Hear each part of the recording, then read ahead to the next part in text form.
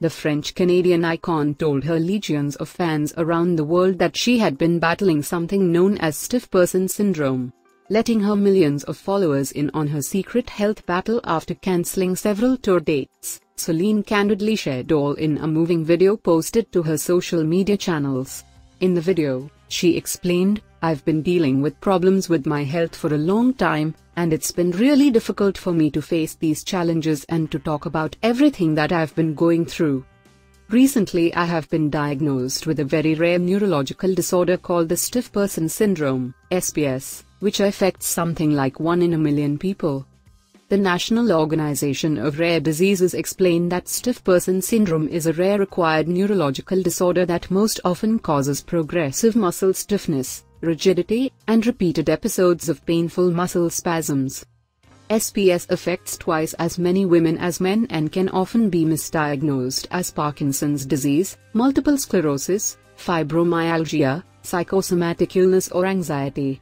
There were hopes that the My Heart Will Go On star could have bounced back after making something of a musical comeback with her appearance in Priyanka Chopra's rom-com, Love Again, for which Celine also contributed the soundtrack.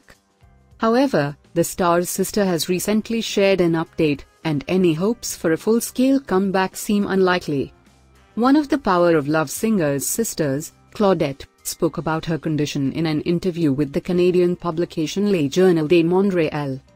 In the interview, she shared that their other sister, Linda, had moved in to live with Celine in her home as they continued to struggle to find anything that works against the condition. I honestly think that she mostly needs to rest. She always goes above and beyond, she always tries to be the best and top of her game.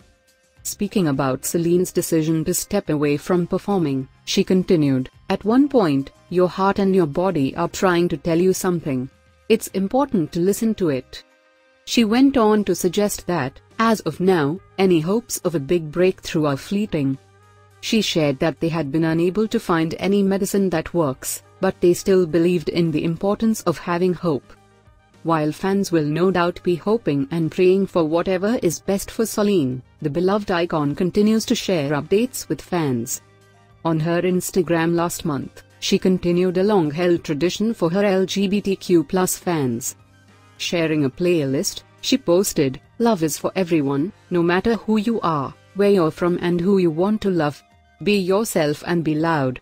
Here it is, as a tradition, Celine's 2023 Pride playlist.